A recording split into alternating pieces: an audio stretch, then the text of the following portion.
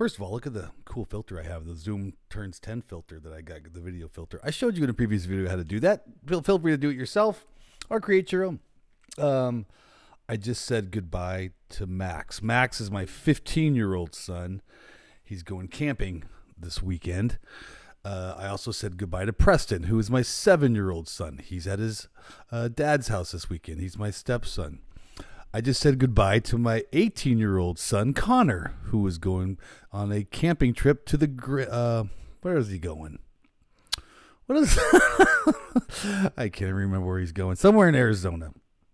Uh, oh, the Grand Canyon. I should probably remember that. It's the seven, one of the seven wonders of the world.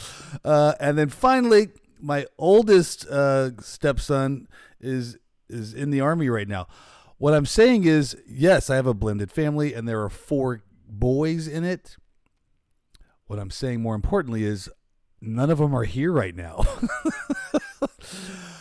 I am kid free until Monday morning. That's fantastic news for both me and my wife as we head to Asheville this weekend. Uh, headed to the Sierra Nevada Brewery this afternoon in case anybody's up in Asheville wants to say hi. Uh, but looks like we're going to have a, a fun time. Not that I don't love my kids, but I love my kids when they're gone. all right. Here's what I wanted to talk about. First of all, happy I think it's Thursday. I, they all just kind of blend together. I wanted to show you something cool that we have when we share a screen in the Zoom world. Sometimes you just want, as host of the meeting, you want to control who can share their screen, or you want to control who can start a screen share.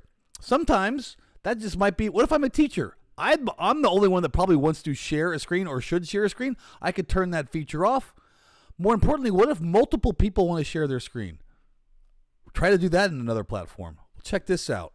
If you go down to share a screen, obviously, right here, looks it's glowing green. There's a little up arrow caret right there. Watch this. Click on it. Look what you get right here. You get advanced features that you probably didn't even know about. Right now, by default, it says one participant can share screen at a time. But look at the one below that. Multiple participants can share screen simultaneously. How cool is that?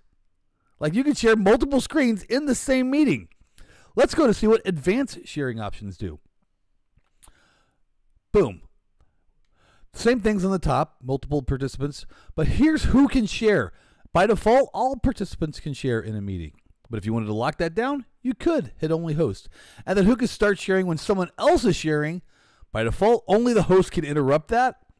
But you could change that to all participants should you have a team meeting and you want everybody to have equal rights. All right.